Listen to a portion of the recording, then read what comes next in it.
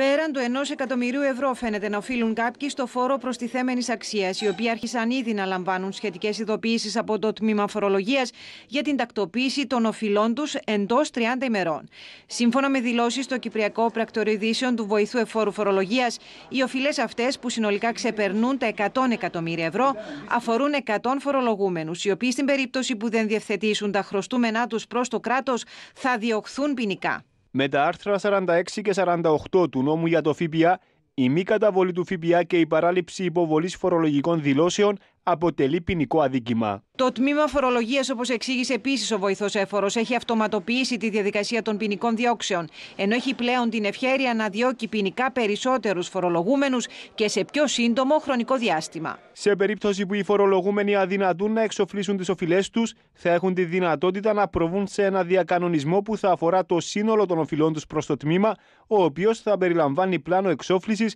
μέχρι και 36 δόσεων. Διευκρινίζεται επίσης ότι σε περίπτωση που φορολογούμενος ζητήσει μετά την ποινική δίωξη ένα διακανονισμό, θα πρέπει να καταβάλει προκαταβολή ύψου από 30% μέχρι 50% των φορολογικών οφειλών του προς το τμήμα. Ερωτηματικά τουλάχιστον προκαλεί απόφαση